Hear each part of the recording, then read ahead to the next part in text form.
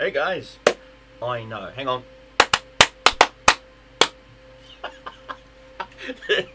Some of you guys on my uh, Discord have told me that you actually like the Mario clap. So I'm like, what the heck? Uh, not at this desk. Other desk right there is doing its other thing. Three printers are going burr. Um, just doing this video really to give you guys a content uh, heads up as to what's going on. Let me just angle this down a little bit. There we go. A little uh, uh, content uh, heads up as to what is going on with the channel. I have no idea why I said on like that, but I did. I've got some models on the bench that are going to be getting ready to be added into some painting streams. This is why I'm over here setting up the table, everything else. I have, in fact, moved all of the uh, uh, moved all of the uh, uh, um, um, paints and stuff off my desk. Just brief, briefly show you. This is uh, pretty much what this video is about. This is a USB microscope. Uh, this is one I got off of Amazon. Uh, it cost me about 16 pounds. I know you get what you pay for. Um, it's not bad, but you need a microscope to read the bloody instruction manual. This thing is tiny. And I'm wearing glasses and I'm still having a hard time. But I've got it working, got the drivers installed, got it all working. Turns out it was a USB port problem with my brand new, I might add, my brand new uh, uh, uh, um, gaming rig, okay? Which is, uh, it uh, doesn't have the correct USB port, an OTG port.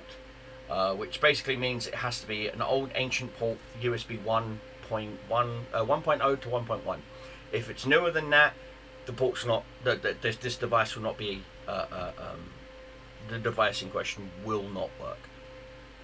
Which to me doesn't make sense, because um, the reason why it it, it, it doesn't make uh, um, any sense to me is because this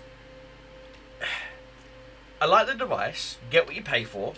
Ground, rule of thumb is you get what you pay for. Okay. I will be doing a lot of electronics videos uh, coming up here for you guys. I've got a whole bunch of cosplay stuff coming in the post. One of which is my Boba Fett helmet. As you guys know, I do. Uh, I'm part of the Mandalorian Mercs. If you didn't know, well now you do. I am part of the Mandalorian Mercs. Uh, my man, my my bounty hunter's name is Von Card Krell. Okay and he is an interesting character. I've played this Mandalorian bounty hunter, oh god, now for almost 15 years, 16 years, no, longer than that, 20 plus years. I've played Von Krell. Um, half Mandalorian, half Mandalorian, half Chiss. So yes, I've technically got a blue sheen to my skin, and I do have the red eyes of a Chiss, but guns are my religion. Um, anyway, long story short about the character is I'm working on doing the cosplay for him, the physical cosplay for him, so that I can go to London Comic Con and just walk around, have my camera, take pictures, things of that nature, but also do some charity events. Namely, I want to do a lot of like uh, uh, uh, uh Mando uh, Mando uh, marches, things of that nature, for charity. Uh, maybe even contact a charity organisation, get one of their badges, have it around my neck, so walk around Reading. If people want to have their pictures taken with the Mandalorian bounty hunter, they can. And all I ask is that they donate some loose change into a little bucket, into a, a, cup that, that Grogu will have. Yes, I will be having my own little. Well, not it's not Grogu per se, but it's a Grogu-esque uh, character that uh, uh, uh, my character uses um, as his little companion, so to say. And so, long story short, the reason why I got this is because I'm going to be doing a lot of electronics projects coming up here soon, as you guys know if you've watched me my Twitch uh, uh, my Twitch stream slash YouTube stream. Um, namely, what I'm planning on doing is I've got a whole bunch of Raspberry Pi uh, Pi Picos on order and one of them is going to be on my wrist here uh, as part of my gauntlet. It's going to power up a few LEDs and, and whatnot and stuff like that. But also, there's going to be a small little LCD screen uh, on my wrist here. And the project is uh, my Mandalorian helmet does have a, vi- a pull down targeting visor. Well, when I pull it down, I'm going to embed into it a small little 2 3 megapixel camera. Okay, and it's going to take a picture of someone. Okay, and that picture will then get put onto the screen where I'll have a Python script that will run an overlay PNG over it and it'll be random as to what PNG is, whether there's a bounty for them or no bounty for them. And so I'll, I'll stand there, I'll scan them, check, I'll be like, ah, there's a bounty on your head for not giving your mum enough hugs. You know, and just stuff like that, just random things like, oh, you forgot to take the rubbish out. You know, it just just small things like that to get kids to laugh and giggle and, and, and get just make everyone's time a better a better a better time all around. I am a member of the Mando Mercs on Facebook. Uh, I am a former member of the 501st. I haven't done anything 501st related in years, and I mean this, years. Um, and so, I mean, I don't even have my actual suit anymore. I sold it uh, in order to get some money together for me to move to the States. Uh, one of the other projects I'm going to be working on is this device right here. Now, this is a MindFlex uh, uh, device. Now, you can get these in the US. You can't get them here in the UK, okay, but you can, you can import them in, which is what I did. Trust me, it cost me £12.50 extra for VAT just for this little device, not including the £30 it cost me to buy the device. Uh, anyway, so let me turn that. There we go. And so I'm going to move this out of the way so we can focus on this. And simply put, this reads your alpha, delta, and gamma brainwaves. And then what it does, because you've given it three axes, you know, X, Y, Z, you can use it in, in, according to the, the game that the device works for. You can use it to move uh, uh, devices on a screen and things of that nature. Well, it sends it in a Bluetooth signal.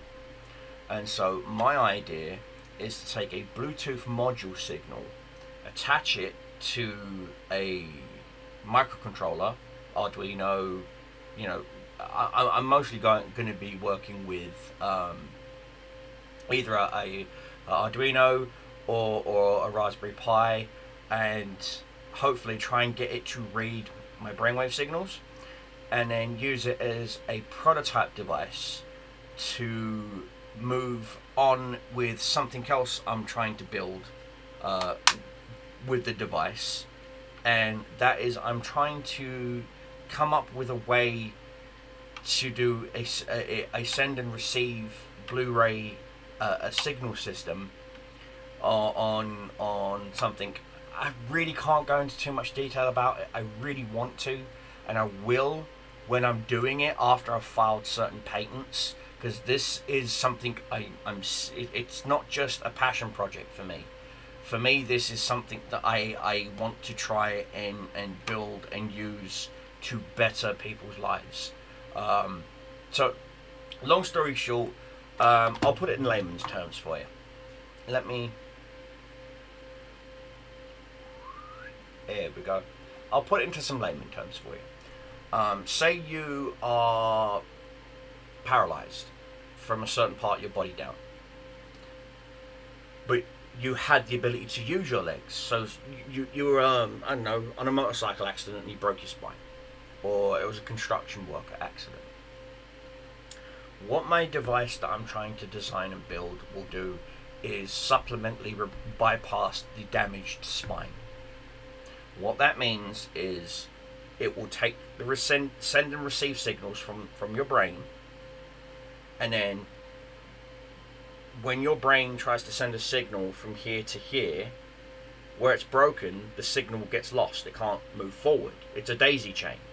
Well, what I plan on doing doing is putting a device at the top and the bottom of where the spinal break is, or, or the nerve damage is, that way the brain can send still send the full signal. so you'll be able to move your toes, your legs, things of that nature. Um, again, I've been working on something. I've been working on this device on on, on this project for nigh on fifteen years, off and on, off and on. Um, ever since my ex-wife uh, uh, broke up, uh, uh, had spinal damage. My ex-wife suffers from lumbar spinal stenosis. Uh, if you don't know what that is, that is um, degenerative disc disease, or DDD for short.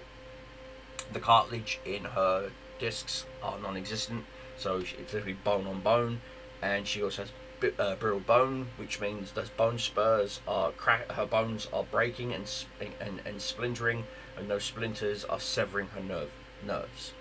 Okay, every time she walks, damage. Every time she turns, damage. Every time she she does any kind of physical activity, it causes damage. And I felt eh, really bad. I, I know I'm very intelligent. I know I I, I can be very very smart. I'm very much of a smart ass too, I might add.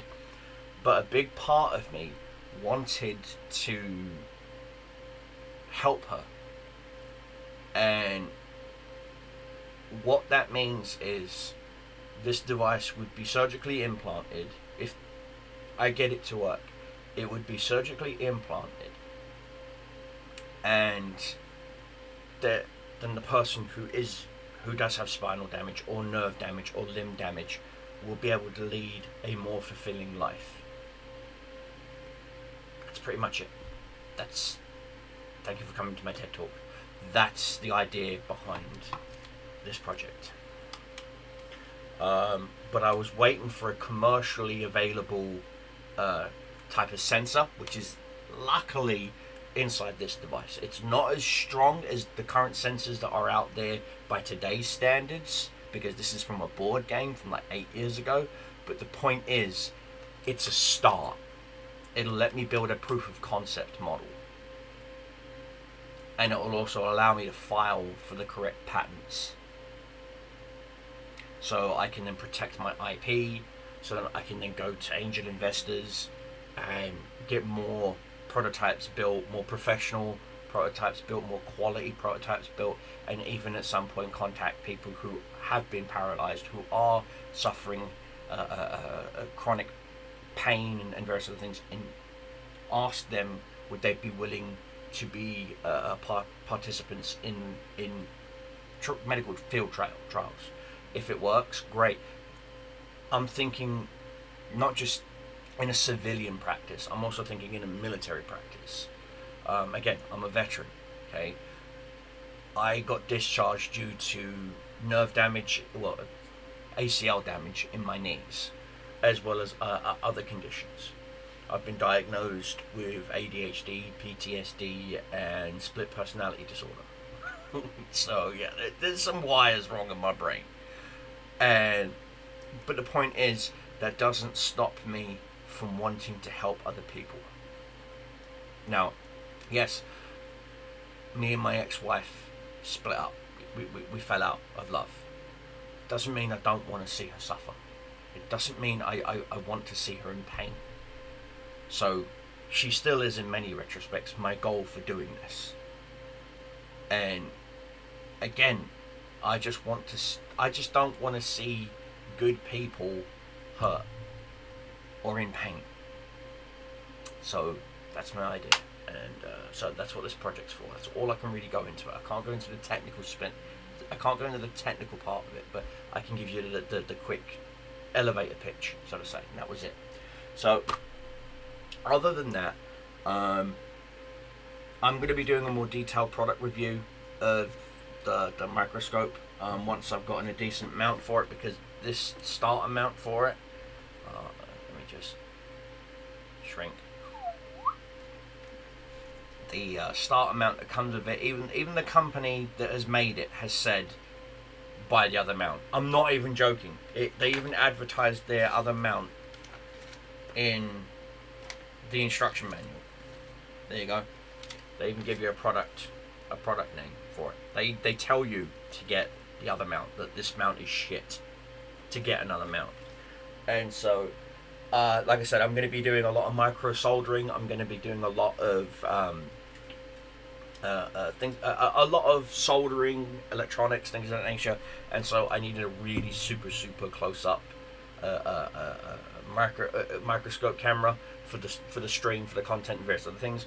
And so, excuse me, kill two birds one stone. And this is what I found, and it suits my budget Mm, I'm so sorry. For some reason, I'm just. Mm, there we go. And um, I want to um, work on just getting everything done.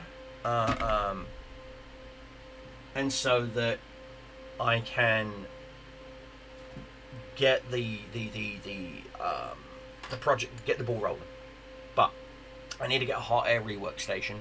I have found one on Amazon, but I'm waiting for my monthly bills to go out because again I'm on a limited income, a very limited income, and so I'm waiting on those to, those bills to, to go out and whatnot, and whatever's left. If I've got enough, I will buy myself a hot air rework station, and that way I can start prototyping. I can start making them, doing YouTube content for you guys. Because like I said, I asked you guys, um, what do you want to see?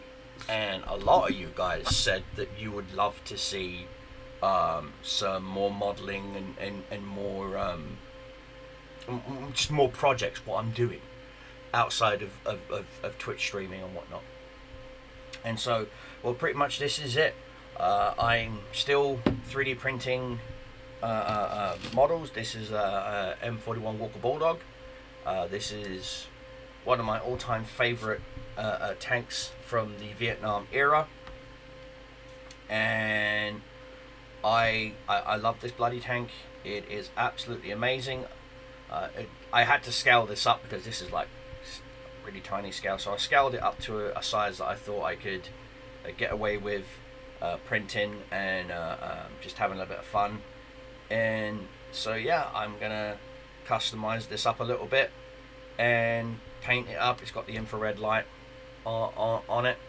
Uh, there's also this kit, this series of, of, of, models that I found. There's also uh, a Mark 46, a Mark 48 Patton. There's the M103. There's the T30, the T29, the T32, the T34. Uh, American heavy tanks. Uh, so I was thinking about doing a little collection of, of, of those, and doing a, and doing like a, a, a Vietnam tribute to uh, uh, tanks from the Vietnam era. So the the Nam Cold War era. So I never even found an IS-7. Uh, uh, um, uh, uh sorry, uh, IS-3 and IS-7 series uh, um, models as well that I'll print and probably do like a, a East versus West um, little diorama. But yeah, so I've got those going on. Um, this is a this is my very last customer's model query. She this is a rocket pug. It's actually a little pug uh, on a on a fart cloud. Um, she wanted two of them, so I've, I've got one that's a, a, a, lot bigger than this one, and this one. These are uh, to go on her desk at work because she has a pug, and uh, she misses her pug while she's at work. So yeah, she gets to take her pug home with her. I do have Crypto Vipers Colossus down there. Uh, I'm going to be start painting that here soon. This is, of course, my zombie Captain America, who that's not finished. It's not even primed. I haven't even glued it. So there's that. Oh, there's the other uh, uh, pug. So yeah, like I said, these are going to get painted. Uh, right here is my Chaos Renegade um, Guardsman. Therefore, my Death Guard army. Um, my Death Guard army is just sitting in a box right literally over there. Can't really see it on the camera, but in a box over there.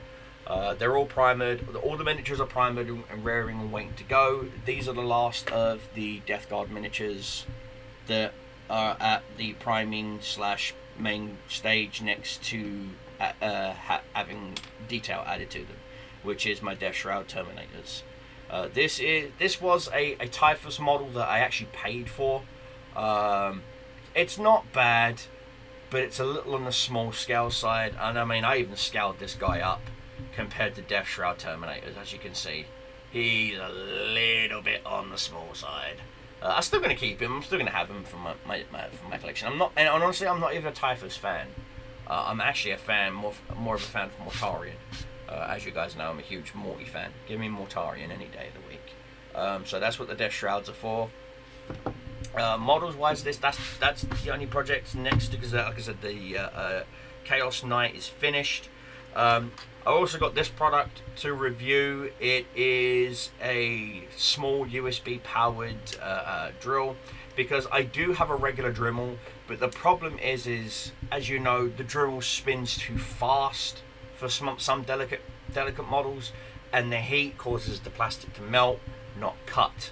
Well, this guy doesn't spin that fast. Uh, and it has no torque. That's the only problem. So what I might do is modify this, give it a gearbox, so it's got a little bit more oomph to it, not speed-wise, but torque-wise. That way, when I do apply it to the model to start sanding, it doesn't go. You know what I mean? It's literally going to have a permanent, good grinding ability. Um, so yeah, that will also help me uh, with my um, my Mandalorian Merc armor. Again, the the helmet should be here tomorrow. Uh, when it does get here, I will do another YouTube video for you guys to check out. Uh, like I said, this is just a small little content update on what's going on on my bench. Uh, all my paints are now actually in a nifty, huge little. Uh, I think it's like a 50 it's not can't be 50 it, it's a it's it's a good 35 40 gallon tote. I it managed to get all of my paints bar one because I forgot I had it out. Um, but it's more than enough room for it to put all of my, my model art and paint supplies in there with the exception of my brushes of course because you always need brushes for something. But um, yeah I've, I've got tons of projects on the go ready to go this is an old hard drive that I have to try and resurrect because there is some private data on here that I need really really bad. I do have one of those uh, external docks and it does read the drive but the drive has a weird click. It's not a, a, a spinning click of doom. It's try it, it reads the data just fine but when I try to transfer it the speeds just dramatically drop from like you know megabytes to like beyond dial-up slash reading to a floppy drive. So I don't know what's going on there. I've got to figure that out. Once I've figured that out, I'll be able to get some. There's like, there's good 40, 50 gigs worth of uh, video content uh, on that uh, uh, uh, uh 500 gig drive. Um, also, I'm waiting on the vinyl stencils to get here from the cut, printing company just around the corner from me. I will be doing another live. I'll be doing actually. I'll be doing it live. It's a live stream of me chemically etching glass and showing you guys how to do it. Uh, so you can put custom logos and stuff on anything from the site, your, your, your glass panel on your computer all the way up to a personalized glass for your father, for your mother, for your partner. Uh, so, like I said, guys, there's going to be a little bit of an arts and craft, arts and crafts uh, stream thrown in as well for the shits and giggles, as they say. But yeah, I'm going to end this video here. I'm going to immediately just upload it straight away. So no editing on this one, guys. But please, you know, I am alive. Please stick around. I am sorry that content hasn't been getting out as much as I want to. Uh, mostly because, again, I'm a one-man band. I have to record. I have to edit. I have to, to, to, to, I have to do everything by myself, pretty much. So, and it sucks. It does suck, but that's life. So, anyway, guys, I am going to end this video with a stay safe, have fun, keep your shows fine, keep your enemies dying. Your Cobra Commander is out, and I'll see you guys in the next one. Ciao.